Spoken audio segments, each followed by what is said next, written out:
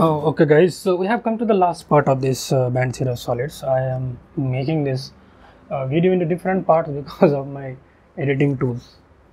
My editing system will be just collapsed if I make it very long. That is why I'm just making it into different fraction, and it will also help you to understand.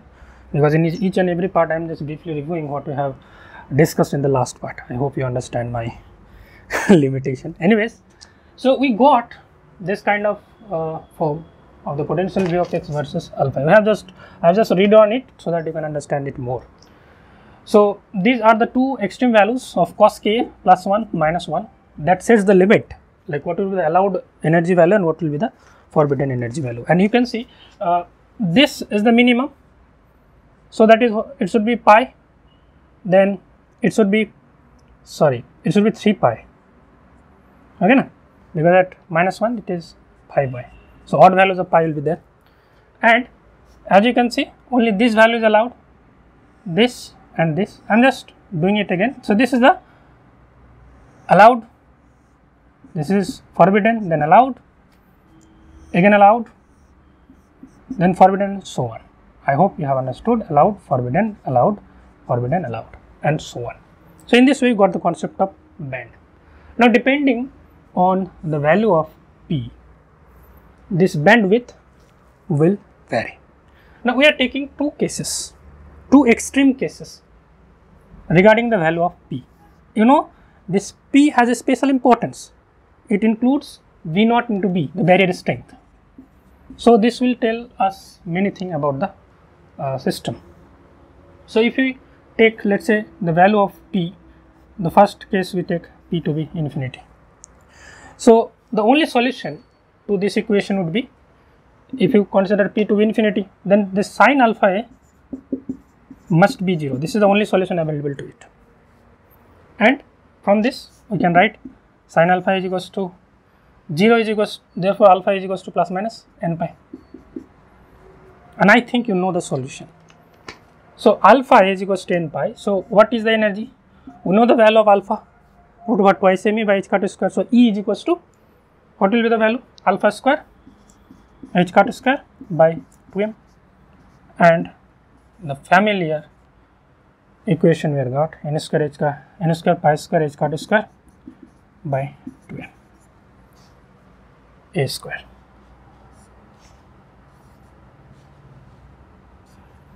Okay, alpha is equals to plus minus n pi by uh, alpha is equals to uh, plus minus n pi by a. So n square pi square h by twice m square. This is the standard energy eigenvalue of particle in one dimensional box we have seen. So, what is this? What does this energy show? The discrete energy. So, when you consider the p value to be infinitely high, you get discrete energy. Instead of band, you get discrete line and that, that should be the case. Okay. Now, if you consider p tends to 0, then how this equation will modified? This term will be 0 so, cos alpha a will become cos k. What does it say? Alpha a is equals to k. It means alpha is equals to k. If this thing equals uh, becomes equal, what you get? What is the energy expression become? Your energy expression become E is equals to h cut square k square by 2m. Simple. h cut square k square by 2m. What is this expression? This is the continuum case. This is the energy expression of a classical particle. In case of classical particle, you know the energy is continuous, quasi-continuous you can say. So, this is giving rise to continuous energies.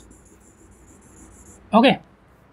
And this range of P, P tends to infinity, this value of P giving you discrete lines. So, we can explain this situation in with the help of a curve. We have shown these two extreme cases. Now, there may be some values in between uh, 0 to infinity okay and you will understand after I draw the graph you will clearly understand what is exactly the situation. So, I am just drawing, I am just removing this part for the time being. So, okay, chalo ye remove. What we are plotting? We are plotting the energy E and we are plotting two things. This is a special curve. Okay, this this side is 0 this side is also 0 you will understand pretty well. Just believe in me. This is 1 on this side and on this side. This side p by 4 pi. Here just opposite 4 pi by p. So p tends to 0 means we are going towards this region. P tends to infinity means we are going towards this region. As i told you when p tends to infinity we get a line spectrum. When we are going to p tends to 0 we are getting this continuous behavior. Now you see the things will look like this. Let me just draw it then i will explain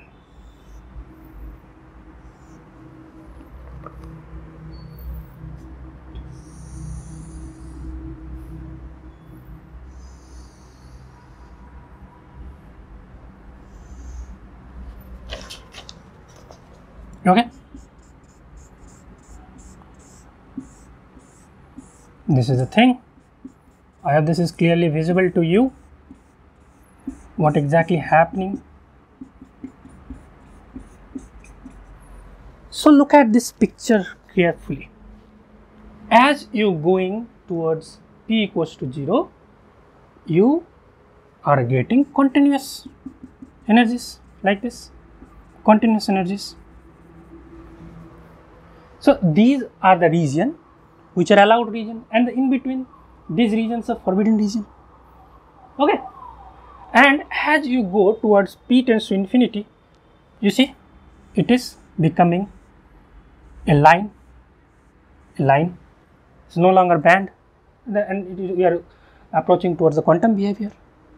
And if you take any value between 0 and infinity, you can take any, you can draw any line and that then that will give you the region allowed region forbidden region allowed region forbidden region. Simple. So in this way with the help of band theory of solids by using the Kronig-Penney model bloch theorem we can get the idea of bands. I hope you have understood this band theory of solids pretty well. If you have any question query related to this band theory solid, you can let me know in the comment section. And sorry for uploading it in multiple parts. Uh, anyways, thank you. Thank you very much. If you are new to this channel, please subscribe the channel. Don't forget to press the bell icon and see you guys in the next video with some other topic. Bye bye. Take care. Unacademy is India's largest online teaching learning platform. You can prepare for various competitive exams like CSIR NET, GATE, JEST, IIT JAM, TIFR. Especially if you are preparing for CSIR NET Physical Science, you can join me on Unacademy Plus. I cover all the 9 units of CSIR NET Physical Science syllabus. My approach is especially I precisely give you the concept of the concerned topic. Then I discuss the relevant mathematical formula and do the analysis. Relevant problem based on the topic including previous year questions are discussed. Homework and assignments are also given. This is my profile and if you want to join my Unacademy Plus courses, you can enroll for this course. And if you are new to this Unacademy uh, platform, you can take Unacademy Plus subscription using our referral code Physics Hub and Unacademy will give you 10% off. So take the Unacademy Plus subscription today and put your feet one step ahead towards reaching your goal. Thank you.